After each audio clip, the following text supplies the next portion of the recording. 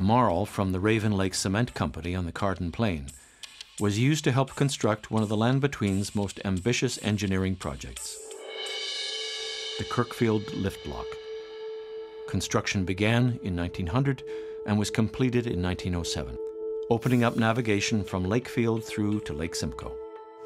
The Kirkfield Lift Lock, uh, lock station is significant not only because of its engineering uh, achievement, but also because it represents an important aspect of the water control function along the Trent Severn Waterway.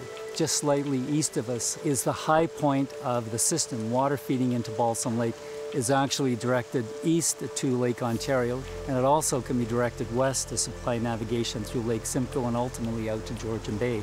And to create that uh, re-engineered uh, hydrology on this unique piece of landscape, they had to make rock cuts, so artificial channels to direct the water it meant improving navigation along the winding, very narrow and very shallow Talbot River. Some of the narrow, uh, shallow lakes were dammed up to create larger bodies of water for navigation, and as a result, it really did change the hydrology.